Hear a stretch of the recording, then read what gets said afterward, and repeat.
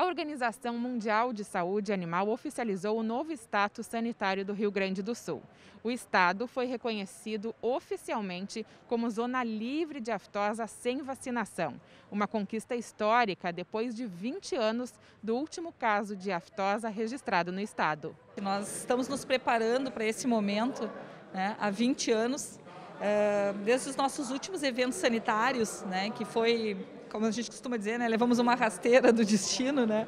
Nós começamos a nos preparar, né? Nós levantamos e começamos a construir, né, a pavimentar esse caminho que nós estamos hoje. Né? Nós trabalhamos muito a capacitação do nosso pessoal técnico, né, o nosso georreferenciamento, a, nossas informatiza a informatização de todo o nosso sistema de defesa agropecuária e nós costumamos dizer que foi uma decisão muito madura tomada pelo Rio Grande do Sul. Né? Ela foi uma decisão tanto do corpo técnico da Secretaria da Agricultura quanto do Ministério da Agricultura e também com as entidades né, representativas dos produtores e também das indústrias. E hoje né, estamos uh, muito felizes, né, é uma, é uma conquista é uma conquista do povo gaúcho e nós uh, esperamos muito que as pessoas se sintam pertencentes a esse momento.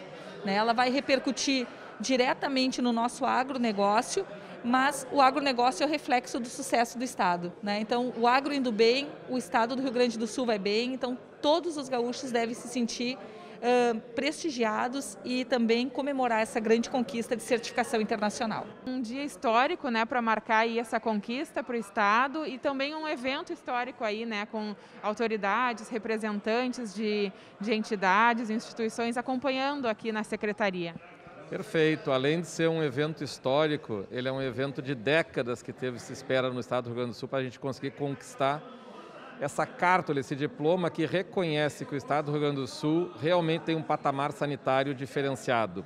E isso né, é mais uma façanha que, né, que assim, todos os gaúchos é, podem levar como um galardão, como uma medalha, porque realmente o Rio Grande do Sul ele é reconhecido como uma instância totalmente diferenciada e nas Américas cada vez mais rara.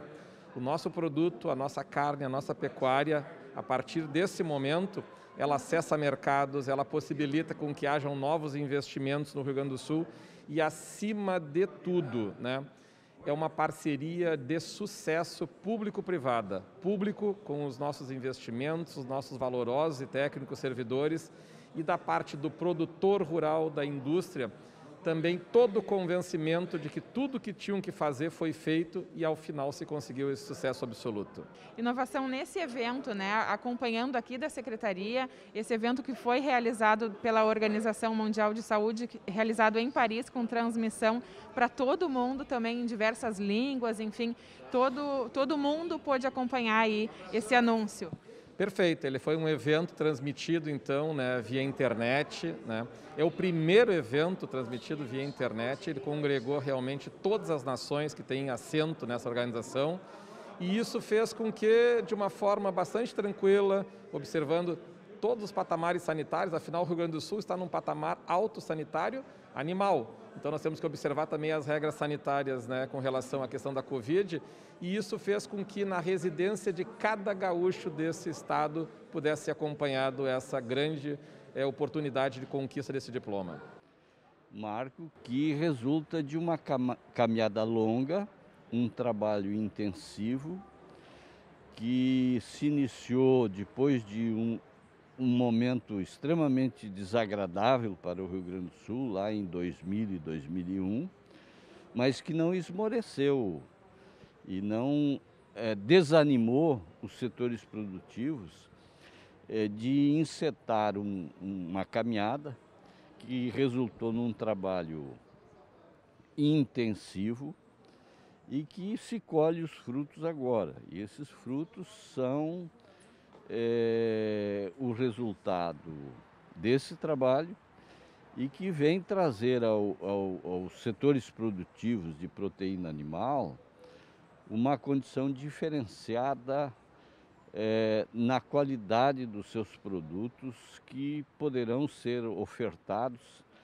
e é, é o passaporte para se alcançar mercados mais exigentes e que o Rio Grande do Sul não tinha ou não tem até então acesso. Isso é um diferencial muito grande e certamente os setores produtivos é, se sentem valorizados nesse momento. E pelo Fundesa, o Fundesa se sente gratificado por ter estado ao lado é, do Serviço Veterinário Oficial, tanto federal quanto estadual, especialmente a Secretaria da Agricultura, o Serviço Veterinário Oficial, que propiciou a toda essa articulação e essa coordenação do trabalho que foi desenvolvido. É, foi, sem dúvida nenhuma, uma, um trabalho qualificado. O Rio Grande do Sul alcança, na área de defesa sanitária animal, um status diferenciado. Agora, com a chancela do organismo internacional, a Organização Internacional de Saúde Animal, e que nos remete a uma condição diferenciada. Então, a, o Estado do Rio Grande do Sul, o governo do Estado, as autoridades sanitárias, os setores produtivos, trabalharam intensamente e se alcançou um objetivo altamente desejado e buscado. Realmente, nós estamos aqui então na Secretaria da Agricultura, Pecuária e Desenvolvimento Rural, nesse 27 de maio, é um dia histórico, importante para a agricultura e para a pecuária do Rio Grande do Sul e para a economia como um todo, por que não? Né?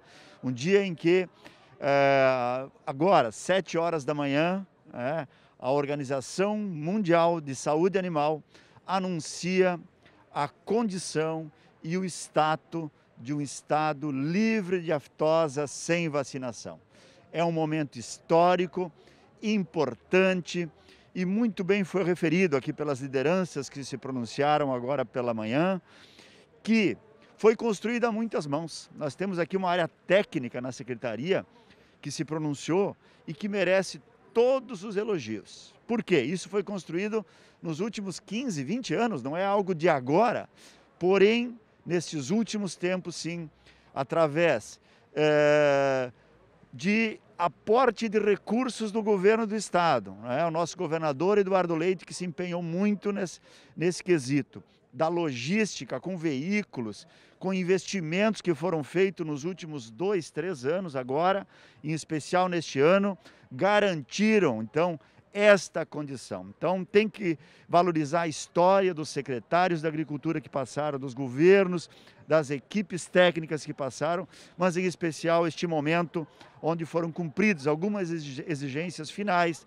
para que isso acontecesse. Então, para nós da Emater do Rio Grande do Sul, que somos vinculadas vinculados à Secretaria da Agricultura e ao Estado, é uma alegria muito grande. E fica aqui o reconhecimento aos nossos agricultores, nossos pecuaristas, é?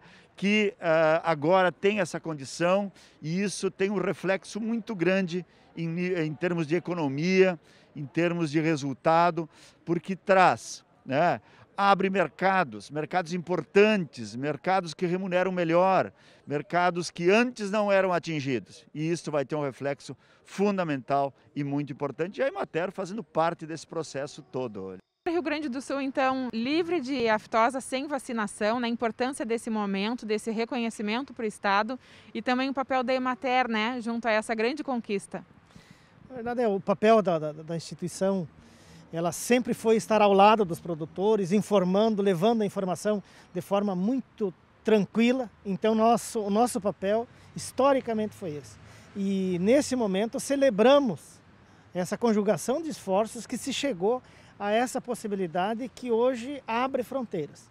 Então, nós temos agora uma responsabilidade maior ainda, e isso a Emater vai continuar contribuindo com as entidades e os órgãos para que nós possamos uh, ter uh, sempre esse status. Então é uma conquista de diversas mãos, construída tijolinho a tijolinho, certo? Então é, um, é uma, uma grande oportunidade para os produtores que desencadeia todo o processo. Quer dizer, a agricultura, o setor primário, ele é uma engrenagem pequena, mas extremamente forte, que leva todo o desenvolvimento a todas as outras cadeias. Então é um momento de celebração que nós estamos vivendo.